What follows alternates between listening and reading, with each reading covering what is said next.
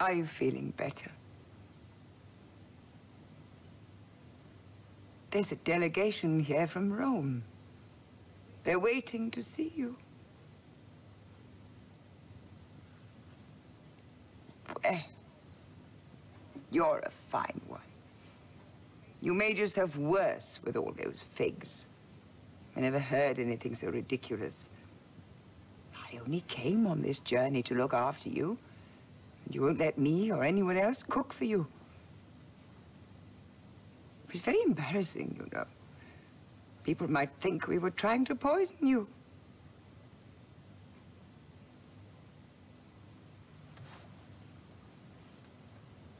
I sent for Tiberius. Fortunately, he wasn't too far away. He'll be here soon.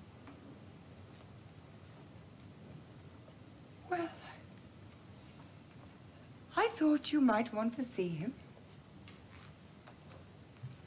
And he'll do everything that has to be done. Hasn't he always? Of course, you two haven't always seen eye to eye. But that hasn't been entirely his fault. You know that, don't you? You were always inclined to favor one over the other. I've often spoken to you about it.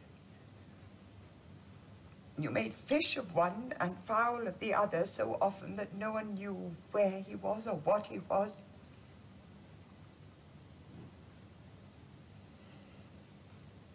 You should have listened to me more. You should have. You know that, don't you? I've been right more often than you have, you know.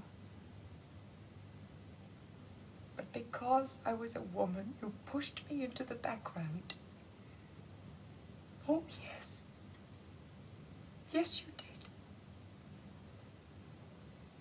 And all I ever wanted was for you and for Rome. Nothing I ever did was for myself. Nothing. Only for you and for Rome. As a Claudian should. Oh, yes, my dear. I'm a Claudian. I think you are apt to forget that at times. But I never did. No. Never.